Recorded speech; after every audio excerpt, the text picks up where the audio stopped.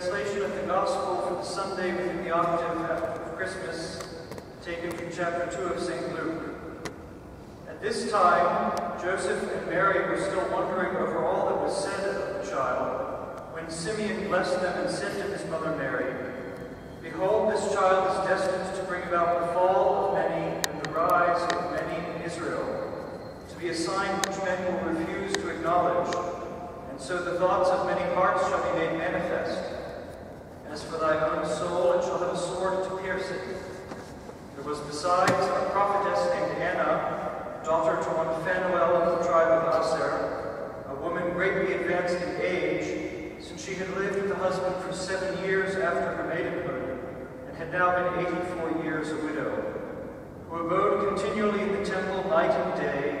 Serving God with fasting and prayer. She too at that very hour came near to God to give thanks, and spoke of the child to all that patiently waited for the deliverance of Israel. And now, when all had been done that the law of the Lord required, they returned to Galilee and to their own town of Nazareth. And so the child grew and came to his strength, full of wisdom, and the grace of God rested upon him. Thus far the words of today's Holy Gospel. Few announcements. As usual, we're very happy to invite you all to the presbytery after Mass for some refreshments. That invitation extends in a particular way to new guests and visitors from out of town. We're very honored this morning to be joined by two seminarians who are on their Christmas holiday. Stuart is from this diocese of Lancaster, and Peter is from the diocese of Madison, Wisconsin. And so I take advantage of their presence today to thank them first for their service, but also to encourage you all once again to pray for vocations to the priesthood, to encourage any young men you might know who are discerning vocations to the priesthood, because a world without the priesthood is a world without the sacraments, a world without the Blessed Sacrament, a world in which paganism will take up more and more place. So please pray for vocations and pray for the perseverance of those who have answered God's call. This announcement concerns mostly those of you who live not too far away. On Thursday is New Year's Eve. And of course, it's best to begin the new year by thanking God for all of his many favors in the past year. So at 11.45 p.m. this Thursday, for those of you who are able to come, we'll expose the Blessed Sacrament and sing the Te Deum, the hymn of thanksgiving. And then there will, of course, be reception afterwards in the presbytery, perhaps featuring some of the wine that we'll bless today after Mass. In the name of the Father, and of the Son, and of the Holy Ghost. After the weeks of preparation leading up to Christmas, we could hardly be expected to dash off from the crib so quickly. Like the other great feasts of the liturgical year, joy of Christmas is prolonged by a week-long celebration called an octave. After all the events that surround the birth of the Redeemer, St. Luke in today's Gospel says with what might seem to be an understatement to us, that Joseph and Mary were wondering at all these things concerning him. And we also need some time to let everything sink in. We really do need this week of Christmas, followed indeed by the Epiphany, and then the whole season leading up to Candlemas, to help us to absorb the great mystery that has been accomplished. Today, I would just like to tell you a few things about the liturgy of Christmas and its octave, so that we can all enter into the spirit which our Mother the Church wishes to offer us during this holy season. The first thing to know is that at Christmas, every priest has the privilege of celebrating three Masses. The first Mass, the Midnight Mass, commemorates the eternal birth of Christ from God the Father. The second Mass at dawn commemorates Christ's birth in time from the Virgin Mary. And the third Mass during the day commemorates Christ's birth into our hearts by grace. The first Christmas Mass is celebrated in the midst of the night. to show that Christ came to dissipate the darkness of error and to save us from our sins. The three days following Christmas are dedicated to the saints who are called the Comites Christi, or the Companions of Christ, form a sort of honor guard around the crib of the Divine King. When the children of the world celebrate a birthday, they like to invite their friends, and this is certainly not wrong. Collapsing both time and space, the baby Jesus also likes to see his friends gathered around his crib. And this is why the calendar admits the feasts of these privileged companions of Christ into the octave of Christmas. Their feasts, indeed, are so important that traditionally they also have their own minor octave with their feasts being repeated like an echo a week later. Yesterday, we celebrated St. Stephen, the first martyr. He heads our list of three saints' days, as he was a martyr in fact as well as in will. The feast of St. Stephen reminds us great fruits that come when we pray for our enemies as he slowly succumbed under the stones hurled by the temple authorities, under the gaze of a young man named Saul who held their robes, Stephen was praying for his executioners. And we know that his prayers paid off. Without those prayers, Saul might never have St. Paul. Today, we celebrate St. John the Evangelist who is a martyr in will, but not in fact, since he was the only apostle not to die a martyr's death. His secondary feast today on the 6th of May commemorates a failed attempt to kill him in boiling oil. St. John is called in the Gospels the beloved disciple, and this shows us how much God cherishes the virtue of purity a virtue that parents have great obligation to instill in their children in a world that grows more impure every day. Although the other apostles, certainly St. Peter at the very least, were married men who lived in continence after their calling, St. John had always remained in the virginal state. St. John is sometimes also called St. John the Divine, which is an archaic word for a theologian. At the Last Supper, this beloved disciple rested his head on Christ's own breast, and we can well imagine that in the echo of that sacred heart, he heard mysteries like those that St. Paul, when he was caught up into paradise, heard, secret words which it is not permitted to any man. While the other apostles paid tribute to Christ by shedding their blood, St. John lived on for many decades. He also suffered for the gospel, of course, as we all must do in some way. But although he endured torture and an exile on the rocky island of Patmos, where he recorded his visions in the book of Revelation, God preferred for him to live on so that the church might receive the fruits of his wisdom. After Our Lady herself, it's very beautiful in the March sometimes when we see St. John depicted giving Holy Communion to Our Lady.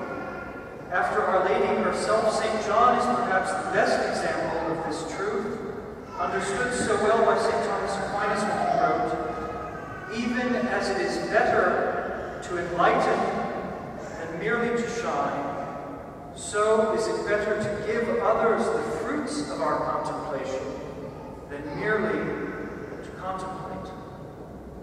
And finally, tomorrow we shall commemorate the Holy Innocents, the young boys of Bethlehem who fell victim to King Herod's fear that the newborn king of the Jews would steal his throne. A sad irony, of course, since Herod himself was already a usurper. Completing our list of the companions of Christ, the holy innocents were martyrs in fact, if not in will, since they were killed at such a young age that they didn't understand what was happening. The liturgy of their feast day rather charmingly sings at Vespers of first, of first victims and martyr bands with crowns and palms and tender hands around the altar they seem. By a very touching sentiment, the Church traditionally asks her priests to wear violet vestments on this day, the only feast with this strange distinction, so soon after quitting the penitential garb at the end of Advent. By this moving gesture, our Mother the Church pays tribute to the mothers of Bethlehem and mourns with them whose baby sons died so that Mary's son could have life.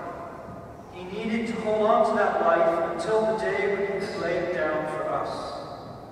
In some countries, the custom exists of covering the baby Jesus in the crib with straw on this day so that King Herod cannot find him. This is one of the many quaint traditions with which Christian culture has always loved to surround the observance of Christmas. I cannot urge you strongly enough, dear families, keep up the observance of Christmas traditions. From the Advent wreath to door-to-door Christmas carols, from the Epiphany cake to the blessed lights of Candlemas. Our religion is not some outlandish New Age mystery cult. Our religion needs to be incarnated in the customs of our daily life, and we need to pass them on to the next generation. One of these lovely traditions is one which we shall celebrate, which we shall celebrate just after Mass, the blessing of wine the feast of St. John. We still have fresh before our eyes the vision of a God who has become one of us, him whom the heavens cannot contain, sleeps within a manger. How can there be any doubt that God loves the world he has made and that he loves to sanctify the physical world by pouring forth the blessing of his presence on the things that he has made for our good? This is the whole logic of the visible church, of the sacraments, of feasts and fasts, of holy water, and of all the other sacred places, times, and objects that allow us literally to flesh out our faith. We are not disembodied spirits like the angels. Christianity is an incarnated religion, and a truncated Christianity that disdains sacraments and sacramentals is a false Christianity. You cannot look at our baby God on his bed of straw and pretend that he wants us to go to him by bypassing the world that he has made, the world he has come to make new by his incarnation. Today's blessing commemorates a miracle by which God saved the apostle's life after which his, after his enemies had put some poison in his wine. That is why we often see St. John depicted in art holding a chalice with a little serpent crawling out of it. it is customary to take a little glass of blessed wine today and to offer it to others with the toast, I drink to you the love of St. John. The Psalms tell us that wine cheereth the heart of man, and so this custom reminds us and represents to us the sharing of the joy of Christmas. I'm sure that I don't need to remind you that as with all of God's gifts, the joy-giving wine is to be enjoyed with moderation, but it is still to be enjoyed. And on this great feast of a great saint, I do not hesitate to wish you well with these inspired words of the Holy Spirit. Go then and eat thy bread with joy, and drink thy wine with gladness, because thy works are pleasing to God. If we please God by our own works, or at least if we repent when our works are not good, then we shall enjoy for all eternity the sober inebriation poured forth to the saints. In the name of the Father, and the Son,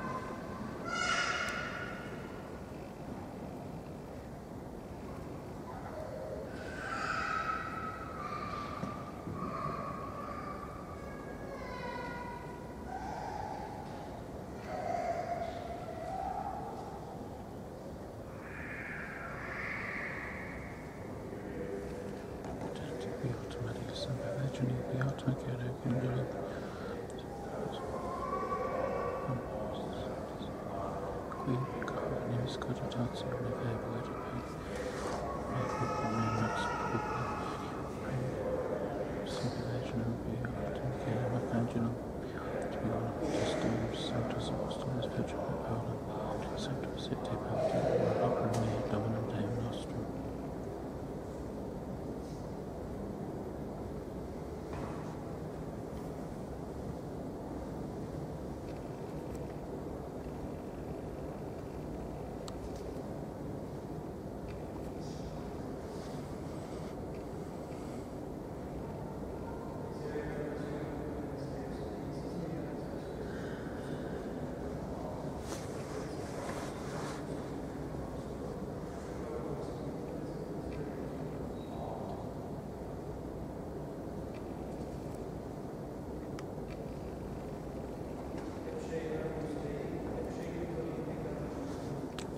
Domini non subdinus et intrus dictum meum, sit tantum dic verbit in opera anima mea. Domini non subdinus et intrus dictum meum, sit tantum dic verbit in opera anima mea. Domini non subdinus et intrus dictum meum, sit tantum dic verbit in opera anima mea.